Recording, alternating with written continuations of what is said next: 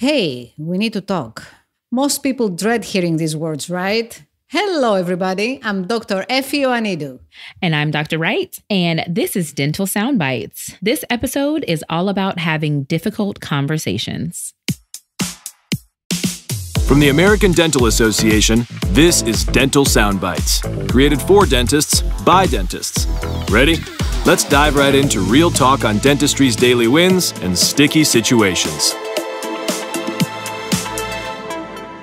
So, in our last episode, we really talk about sticky situations that we experience in our practices. Today, we thought that we can bring an expert to talk about how we can communicate more effectively dealing with these difficult, sticky situations. So please welcome Tiffany Olson. Welcome, welcome, Tiffany. Can you tell us a little bit about yourself? Sure. First of all, thank you for having me. I like to say that I'm a lifelong student of communication. I got my start in elementary school. I talked too much during English class, and Mrs. Hawkins, who was the English teacher and the speech team coach, recruited me because she's like, well, let's put this gift of gab to uh, to good use. So I joined the speech team and stuck with it um, all through junior high and high school, and went to college and competed at the national level for the Illinois State speech team and got a master's degree in communication and have been teaching for the last 25 years, both in the college classroom and then more recently, the last 10 years, I've focused on corporate and organizational clients, going into companies and organizations and leading communication centered workshops, things like how to effectively give a public address or how to listen effectively, how to have tough conversations successfully, which is obviously what we're going to be talking about today. And all of the workshops are tailored to that client and that industry. So that's me. That's great.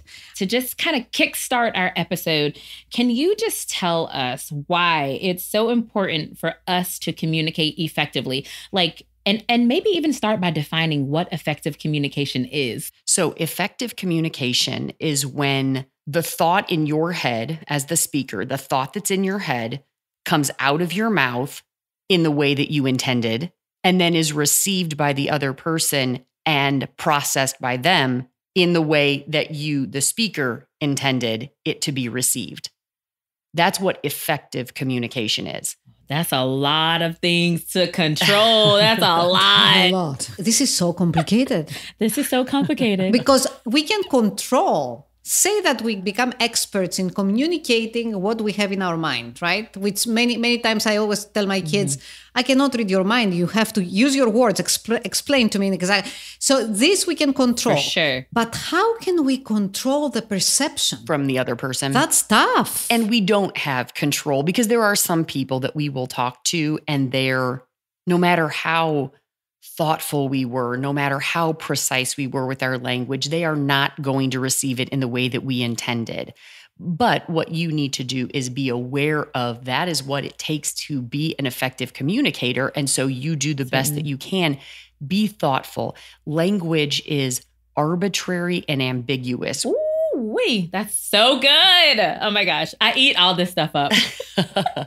that's what I, that's how I am. I love I'm fascinated by all of this. Me too. So language is arbitrary and ambiguous, which means that your definition for like let's say I I tell you, how was your day today?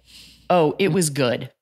Good. Well, my definition of good means this and Dr. Wright's definition of good means this. And so we all have different definitions of what good means. Right. And so you need to be precise with your language because if you're not, then the other person will be left to fill in the blanks and draw their own conclusion. Yeah. Which isn't necessarily what mm-hmm. we meant for them to draw.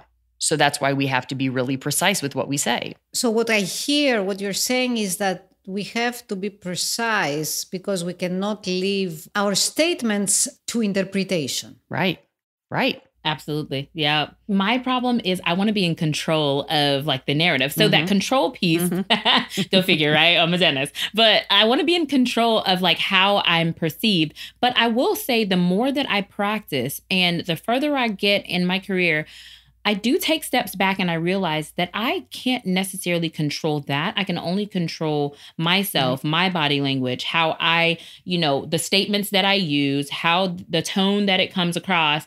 And on the listener's ears, like I can't control that so much. I will say that's been a source of contention for me um, in practice with like if I have like a conflict with a team member or a patient, um, if there's some level of misunderstanding, sometimes I want to go overboard and over communicate, and that sometimes is to our demise. Absolutely. This is a personal example, but I just went prom dress shopping with my 17 year old the other day. And we do not have similar taste in anything, clothing mm. specifically in this situation. And right. she tried two dresses on. One of them I loved, the other one, eh, I didn't love as much, but I didn't want to tell her about the one that I loved because I knew that if I told her I loved it, she might want to do the opposite thing because I'm the uncool mom. And so she doesn't want to pick the one that I picked. Classic. So it's so complicated because I'm trying to, I'm being very thoughtful in how I'm communicating. And yet, to her, I wasn't being effusive enough with my praise of how she looked in the dress, but I was doing it eh, for the for what I thought was the right reason. And you know, so we we can be really thoughtful, we can have the best of intentions and still that was ineffective communication because what I meant did not get received and processed the same way I I meant for it to. You know, sometimes I wonder the strategies that we use in our with our teenagers. You know, uh, they they may be applicable in our professional life. Frequently, as parents, we say, "Pick your battles," right? We don't need to argue with the kids every day, all day. We could, yeah, but we right. choose not to. Mm-hmm. I wonder if this is an, a, a strategy that might be useful in a professional setting. Oh, absolutely. I'm just thinking of staff, let's say. Other people have ways of doing things that may work well for them. And just because it's different than our approach doesn't mean that it's wrong. It, it's just, it's different. And so, certainly, um, I know that mm-hmm. I'm not good at letting things go. I want to correct everything. I'm not good at letting some things go and, and picking my battles. And mm-hmm. that is, I mm. absolutely think there's validity to that. And you are able to conserve your energy too if you're not picking every battle. So you mentioned a few things that I would love for us to talk about. You said emotional intelligence. You talked about awareness. Can we just talk about a whole bunch of those things because I feel like a lot of our doctors out there we may be operating in those same spaces. Maybe we're not as emotionally intelligent, although it's a common buzzword. Maybe a lot of people may not know what that is and and that awareness piece and being experienced. Can you like let's go there, can we? yeah, I think emotional intelligence is so necessary because people are complicated mm. and our reasons for saying some of the things that we say are complicated. Maybe somebody else was feeling insecure. Of in course. our own insecurities, we will lash out or we will say things. And yeah. I think that having the emotional intelligence to think in that situation, why would the other person have said this? What was the meaning behind this? And reading nonverbals and and oh, they seemed offended by that thing that I said. That seemed to to throw them off a little bit. So checking in with people, that's a huge um, thing that we need to do more of is checking in. When I said that you did this thing with your face, what what did, can you tell me about that? What did that mean? Were you confused or did I say something that offended you? Checking in with the people that you're talking to to make sure you understand so that you can clarify in case you misunderstood. Tiffany, if you do this, could people perceive this as confrontational? Like if you turn to someone and say, you know, I noticed that you did this. I just want to make sure that I understand correctly or I was not misunderstood. So do you think that people can immediately become defensive and like instead of the conditions, you make them even worse? Yeah. Absolutely. I think that people can and so uh, that's the reason that we need to monitor our delivery. Yeah. Please know I I don't mean anything by this comment, but I just want to check in with you because your your face seemed to indicate, you know, and and I've got a smile on my face as I'm saying it and I'm you know, I'm making sure with these we call these minimal encouragers, these mm-hmm. hand gestures that we do and these these things that we do non-verbally to um display meaning. And so um, oh, I'm I'm sorry, I I didn't mean to imply anything, but I just wanted to check in with you and make sure that did you understand when I said that I, I was not trying to be fill in the blank, disrespectful, blah blah blah. Yeah. Um, I just want to make sure that that you understood that your tone. Mhm. You can say the same words in different ways, and you know, tone. 100%. makes all the difference, right? And sometimes it will be misinterpreted. Yeah. Yeah. You know, I am the queen of like, I, so I believe in breathing, taking that pause, right? Mhm. I sit back and I wait. I do believe that, like, whenever you're in a difficult conversation, whoever speaks first kind of loses. So, what I do with my patients, and this happens to me quite often, patients come in, they pretty much already know what they think is the right treatment or the right course of action for them. But I'm the person I think very um, big picture. I think and begin with the end in mind. And sometimes that does not go over very well with my patients. So I always pause and I say, okay, what questions do you have for me? And I think this is one of my strategies. Instead of being like, do you have any questions? Or, okay, is that that's everything? And, you know, I'm out of the room. I always say, all right, what questions do you have for me? And I will sometimes be there until they have no other questions. Because I want again, this is me trying to be in control of the mm. situation. And I'm like I want I don't ever want them to feel abandoned. Because I feel like when you don't communicate patients can feel abandoned. Sometimes I don't have all the right words in that moment, but I still want to give them space to share. Because I don't know, you know, people they don't really share everything right up front. Sometimes I feel like our patients play games with us and they like want to see what you're going to say first before they share, you know, the true situation. So like how do we navigate some of those things? Or I don't know if I just gave my own strategy to myself, but mm-hmm. that's definitely one of my strategies. What are your thoughts about that? Yeah, I think that's good. Just even in the phrasing of the question, what questions do you have for me as Right. opposed to do you have any questions? Because you're right, a lot of times, uh, no, I don't have any. And then we think about it. So even giving a pause, I that's something that I teach people all of the time is Okay. the pause. The pause Mhm. is so important because I, I know when I was a first year teacher in graduate school, I, you know, was only a couple of years older than my students. And I just was not Mhm. comfortable Mhm. in front of the classroom yet. And so you're there and, and I would end the class with, does anyone have any questions? But I didn't feel comfortable in that silence. And so I would give a nanosecond and then I would say, okay, great. See you, you know, see you on Friday.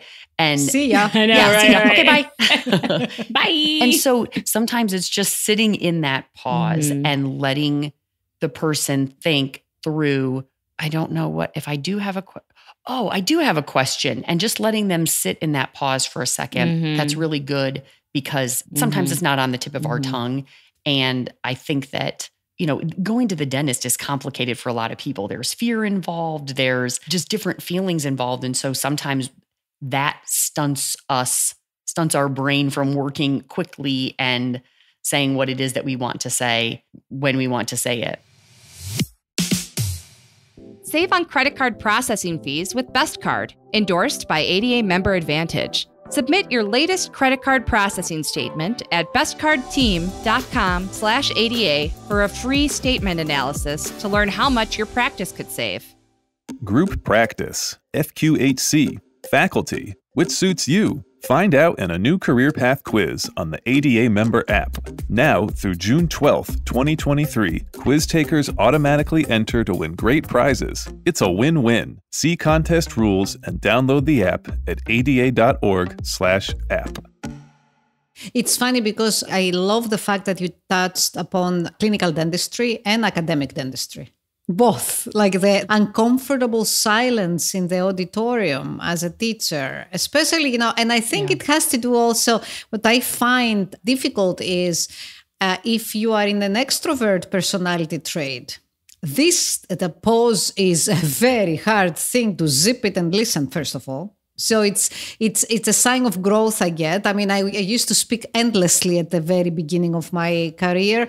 Now I speak a little bit less, although many people don't feel the difference. But anyway, and it's so hard to just be the listener and try to take a moment, pause and allow the room to react to what you announce or to just said it, many times for extrovert people this might be an, a problem and on the other side I, i'm sure that there are different stresses and different defense mechanism for the introverts in the room right, right? in terms mm-hmm. of communicating mm-hmm. so i find that this is also can you speak about this a little bit because i know in academics you know it's it's always small meetings in conference rooms of like 8 to maximum 10 people and those close communications that are more than one patient right but those close communications can be tricky frequently yeah, I like what you said about the introverts and extroverts. I don't know if you've read the book Quiet by Susan Cain. No. And it's all about um, introverts and extroverts and the difference in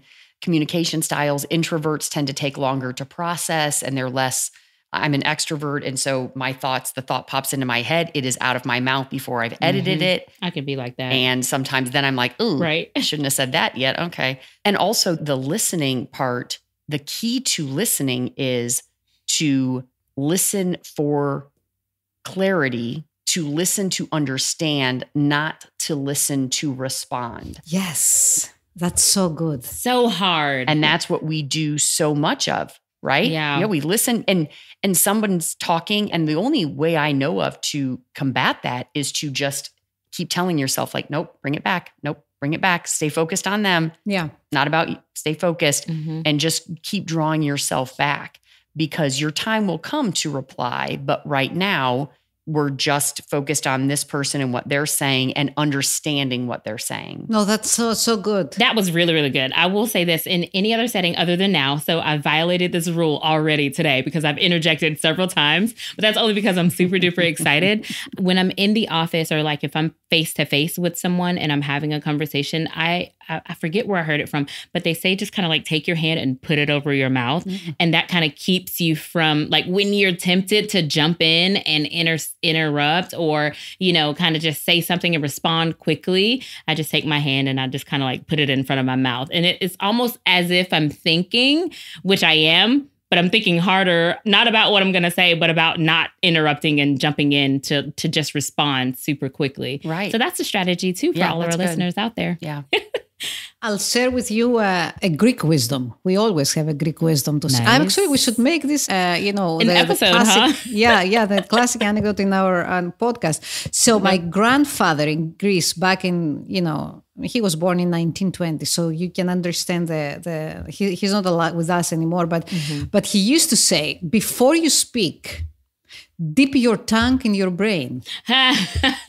dip your tongue in your brain. he used to say this to, for me when I was like little, young, you know, uh, elementary, high school student. But it, you know, I, I it was something that really, really helped me in life do I do it very frequently? I started doing it took me 50 years, but now I know how to do it, I think. There you go. But you're absolutely right. There you go. You're absolutely right. And I completely agree with what you said about the deep listening. Yep. Well, let's take a moment and listen to a story from a colleague who was in a difficult situation. And we're going to hear how he handled it. And I think that we can develop some conversation around this situation. How about that, guys? Sure. Let's do it. My name is Dr. Rico Short. So I remember having a lady coming to my office. She said she needed a root canal, but she didn't want to take any x-rays. She said, Hey, Dr. Short, I need a root canal. I don't want to take any x-rays. I know I need it. And I explained to her, I said, ma'am, you know, without me doing an actual exam and x-rays, I can't perform this procedure. And she was like, well, I need you to perform it because I have to go out the country tomorrow. And I don't want to go out the country and have a toothache. So I explained to her, you know, medically, legally, we can't do that. And also, we want to make sure that we're giving you the best procedure and making sure we're making sure we're not missing anything.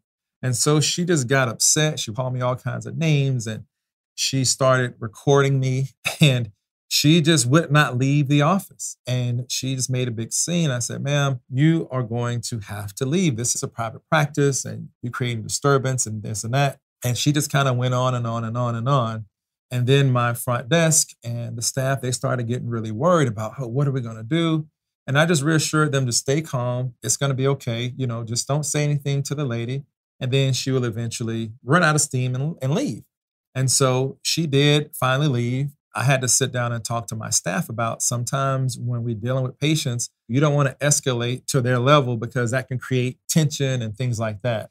That was very interesting. And and this has happened to me before, Dr. Effie. This may have happened to you in practice before, but let's unpack that because I'm sure we can pull a few strategies from that story alone to equip our listeners with. Yeah, I think the key is that not all difficult conversations are going to be successful. That's good. Success is not oh both of you leave happy and everyone is good and that that's not success might just mean that the conversation was over. Like in that situation, it seems like the success was that the conversation was over. The doctor seemed to handle it really well by debriefing with the staff. Mm-hmm. Um, there are some people who are not capable of having difficult conversations successfully. Mm-hmm. And I think sometimes we let ourselves off the hook a little bit by, oh, I don't think the conversation's going to go well, so I'm not going to have it. Oh, that's a good one. And I don't want us to lead with that. But like for this conversation, this particular person, it didn't seem like it was going to go well. I think that the doctor handled it really well because yeah. she seemed combative and was did not seem to respect his professional opinion about what needed to happen. And so I, I, think he handled it the best way. And sometimes that's it just is. Mm-hmm. It's amazing how a wise reaction can really affect the whole practice, the whole team dynamic, right? And builds confidence. You know, if you're the leader in the practice yeah. and your team sees you reacting in such a wisdom, I think that it builds respect. Yes. Something really bad can turn into bringing people together. Absolutely. Yes. I feel feel like that was a good example of how to interact with the team. And mm-hmm. usually, if I'm in a situation with a patient or if a patient gives me feedback through a review, because I look at my Google reviews as feedback um, that the patients are leaving me and how I handle it and how I navigate it, I always try to find the lesson in it and if there's actually any truth to it. So I look for the truth in the situation as opposed to, although I do not like when I get a bad review, but I, I realize that I can't control everything and I can't win everyone. Right. But what I can do is take the meat and leave the bones, if that makes sense to everyone. Right. So, your opinion, Tiffany, on de escalation. What are some strategies that we can use and take into practice with us about the de escalation piece? So, if you're in a situation where it's just not going well, calling time out, you know, hey, I seem to be getting worked up and I don't like how I'm saying this. Now, let's say before you get to that point, you could even just ask for a redo. I say something in anger. Oh, you always do that. Sorry. Can I say that again? Because I didn't mean what I said. I just responded in anger. Can I redo that? Ask for a redo in the moment. People respect that. That's showing humility and vulnerability. Yeah. That, oh, okay, I realized I went too far. I'm sorry. I love that. And then sometimes it's just a matter of like, if you are too heightened and you can't bring yourself down, mm-hmm. then it is a matter of saying, I think we need to take a time out and come back to this. And maybe it's, you know, maybe we can come back to it in a half hour or something. And maybe we need to table it for sleep on it. Maybe we need to table it for a while. And you need to monitor yourself and know, are you getting too worked up mm-hmm. or maybe for the other person hey I, I can tell that this is really affecting you. Let's let's table this for a little bit and come back to it later because you know I don't think we're accomplishing what we want to accomplish right now. Mm-hmm. How do you think someone becomes more confident in communicating? Is this something that comes naturally with uh, age? Is it something that comes naturally with um, experience and interaction? Or is it something that you really learn out of books? Like, how, how, how does this happen? Well, women, especially, their confidence in communication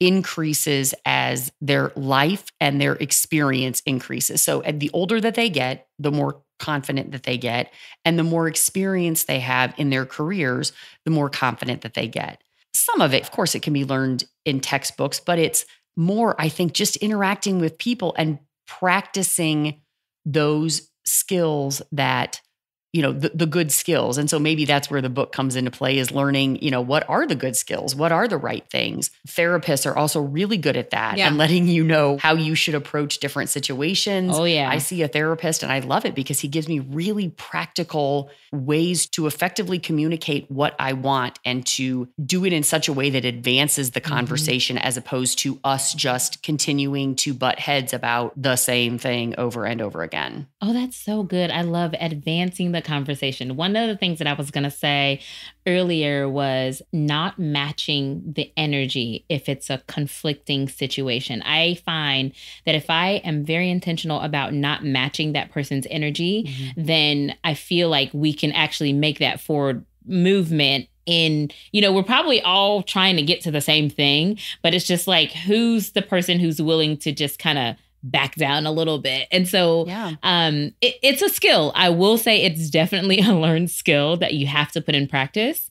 But yeah, talk to us. Well, and I think you had a good point, Dr. Wright. You said we are all trying to get to the same thing. And that's a good thing to work on for, you know, de-escalation or just having these tough conversations is figuring out, hey, what do you want out of this conversation? Like what what would make you feel satisfied as an endpoint for this conversation? Like identifying what that is so that we know mm-hmm. what are we working towards? What is our goal? And and we can set our goals before if it's a difficult conversation hopefully you do some thinking through it ahead of time so you know what do you want out of it? What is going to make you feel as though it was a successful conversation? So doing some pre-thinking before you get into the moment and have to respond in the moment. Oh, I love it. This is helping me out a lot. I don't know about everybody listening, but Good. I'm gaining a lot from this. so this is actually a great thing like if someone starts a communication session or a meeting or an interaction with this mindset, the mindset of, you know, what's the deliverable? Basically, what would make both mm-hmm. of us, the two parties happy, then probably the communication will be right on the point right is it wouldn't this make everything easier mm-hmm. like isn't the, wouldn't this make the meeting or the interaction less stressful I assume. Yeah, I would think so. There's a, it's called Communicating with Confidence. It's a curriculum that was put out by Lean In and Jennifer Allen. And they talk in there about when you go into an interaction, thinking before you even get there, what is the impression that I want to make on the people in the meeting? What are three characteristics that I want to come across like? So, what are, I and those are great things for you to think ahead of time about. Mm-hmm. Oh, you know, like I, I, mean, I wish I would have done that today. Like, what, you know, how do mm-hmm. I want to come across today on this podcast? Do I want to come across knowledgeable? Do I want to come across fun? Do I want to come across, and just really thinking mm-hmm. through before we're in the situation and we're having to be reactive as opposed to proactive and really having intention behind it. Mm-hmm. Yeah. That's good. Oh my gosh. Okay, wait. So before we, we we get too far, can you give us like just three strategies to help us improve communication with our dental teams? Yeah, I think number one is there was a, a quotation by I think it's Teddy Roosevelt, and he said that nobody cares how much you know until they, till they know, know how, how, much, you care. care. Yeah. Ah, yes. And I love that because I think that's what it is. It's a matter of with your team, letting them know that you care, that we have a common goal, which is patient care or being the best practice, blah, blah, blah. Whatever your goal is, we're all working toward the same thing. And so letting them know that you care. And then I think also it's listening to understand. That's a good one. So making sure that when you're listening, you want to make sure you understand what the issue is. Mm. And with the mm. difficult conversations, don't put off the tough conversations. Mm. Let's say that there's some tension in the office, and maybe it's not even tension with you and somebody else. Maybe it's tension between other people. Don't put that off because it festers mm. and it it affects everybody that's that's in the practice. And so addressing those issues head on, mm-hmm. I think are really important. And one of the things that I do, and I can tell that you do this too, is I seek to learn from other people. Oh. Like, who oh. else is doing this really well? Yes. Who is there another, you know, another practice that you know that's just killing it when it comes to morale and unity and and learn from them. What are they doing? How are they doing it so mm-hmm. well? That's how I learn all of my stuff is asking other people what's working for you. There we go. This is a great point. This is so good. Ah. I want to go back to something that you said and then we can move on, but this really struck me. Frequently in our professional life, a lot of people use as an excuse the fact that they don't like confrontation. So, oh my gosh, please let's right? unpack this. Mm-hmm. Let's talk about it. Yeah. So, with this, you are called to adjust your communication depth, if you will, so you don't touch those notes that are very tricky and risky and they can really pop up and start a confrontation. So how how do you reconcile this? On one hand, to try to be real and authentic and really approach a, a, an issue Yeah. in its full dimension, but also respect the fact that some personalities are different than others. So, I mean, wh- wh- what's your strategy on this? So I think first of all, it's all the way back at the beginning of what do you label it? Because we keep calling it difficult conversations, confrontational. Yes. We're calling it these Yes. things where, oh, it's conflict. Ooh, conflict. Conflict, Yeah. I, I can't remember the exact definition, but conflict Mm. basically just means failure to be in agreement. Mm-hmm. Failure to be in agreement. That's not scary. We're Right. in we're not in agreement about what's for dinner tonight. You know, it's like we're not in agreement about my favorite color is orange and your favorite color is. So conflict is just failure to be in agreement. And so when we label these things difficult conversations, you know, it's a it's a sexy phrase, but it's like it's really just trying to find a way for both of us to be okay with where we are, with what the situation is. And so eh, when we label it conflict, I think that's the main problem is just, hey, we're just having a conversation. And and a lot of times we build it up to be so much more than it is. And then when we're in this situation, it's like, oh my God, I was so nervous about that. And we figured it out. We did this. Okay. All right. I love it so much. You made a statement that basically drew my mind to one of my favorite books that I feel like has been life changing. And it's Seven Habits of Highly Effective People. And there were several things in your statement um, when you were ta- going over the three, you know, skills that we should all have to help with our dental teams. And and I began to think about a few of those habits. I think we're doing it right now, which is sharpening the saw. That's one of the habits in the book. Um, beginning with the end in mind. So you said like kind of thinking ahead of what do you how do you want to be perceived or what do you want to get out of this conversation and then the other one that i just wrote down just off of memory was seek first to understand and then to be understood like Mm. those are all Mhm. principles that i think that we're talking about right now Absolutely. that like goes along with this communication piece so i kind of just wanted to say that in the Yeah, moment since that. we were kind of right on there I love that. On the next Dental Soundbites. Dentistry can be a very demanding profession, but taking care of your own needs is just as important as taking care of your patients. We're talking tips for stress management, self care, setting boundaries, and building a supportive community that will help you maintain a healthy work life balance. That's on the next Dental Soundbites.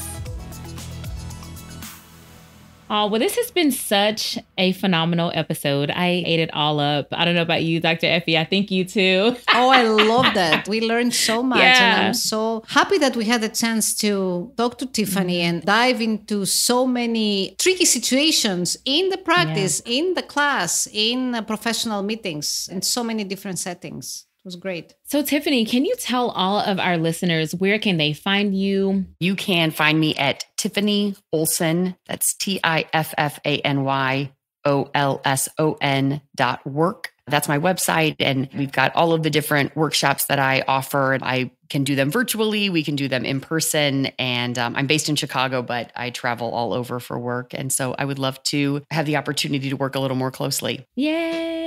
Thank you so much for everything. I loved being here. Thank you. Thank you so much. Thank you very much. If you like this episode, go ahead and share it with a friend or a colleague. Also, don't forget, subscribe to this podcast wherever you're listening so you can get the latest episodes. Thank you for joining us. Dental Soundbites is an American Dental Association podcast. You can also find this show, resources, and more on the ADA member app and online at ada.org/podcast.